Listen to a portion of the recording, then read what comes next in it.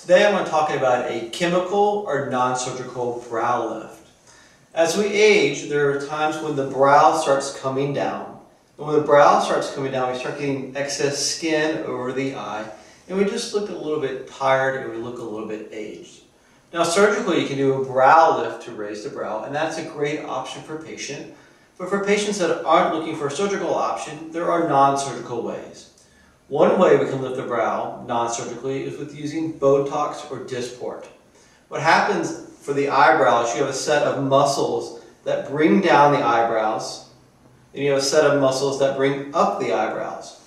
So if we take Botox or Dysport and weaken the muscles that pull down the eyebrows, but still keep the muscles that raise the eyebrows working, you can get a subtle lift of the eyebrows with Botox or Dysport. Also, you can also use fillers to add volume to the space above the eyebrow.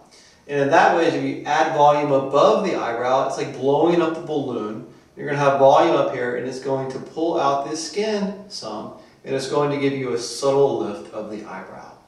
So there are more than just surgical ways to lift the eyebrow, and in some patients may be great candidates for a chemical brow lift with Botox and Dysport or using facial fillers such as Restylane, Juvederm, or Sculptra to raise the, raise the brow by using volume.